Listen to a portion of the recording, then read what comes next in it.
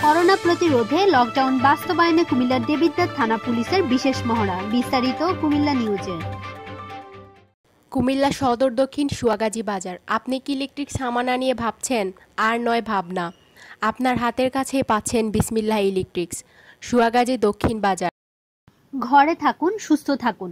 এই স্লোগানে কুমিল্লার দেবিদ্বারে করোনা মহামারীতে সচেতনতা বৃদ্ধির লক্ষ্যে কুমিল্লা জেলার পুলিশ সুপার ফারুক আহমেদ পিপিএমবার নির্দেশনায় থানা পুলিশের একটি মহড়া ও র্যালি অনুষ্ঠিত হয়েছে।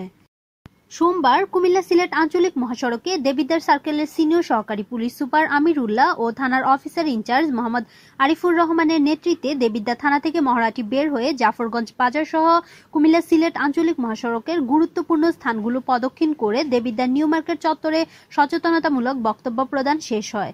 মহড়ায় অংশগ্রহণ করেন দেবিদ্বার উপজেলা নির্বাহী officer Mohammad Rakib Hasan, traffic unit TI Mohammad Saleh Ahmed, Debidwar সার্কেলের সিনিয়র সহকারী পুলিশ সুপার আমিরুল্লাহ বলেন, সরকার ঘোষিত লকডাউন কার্যকর করার ক্ষেত্রে আমাদের আজকের যে বিশেষ মহড়া অনুষ্ঠিত হয়েছে, তা লকডাউন শেষ না হওয়া পর্যন্ত চলবে।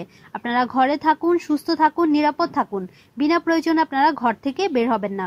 প্রয়োজনে ঘর থেকে বের হলে স্বাস্থ্যবিধি মেনে মুখে মাস্ক পরে বের হবার জন্য অনুরোধ জানাচ্ছি।